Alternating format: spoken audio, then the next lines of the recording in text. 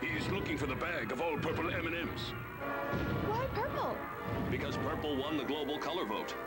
If he finds the bag, he could win 100 million yen. That's over $700,000. Yes, roughly. Commence Operation Go-Go. Look in bags, you can win. Look in bags, you can win. Look in bags.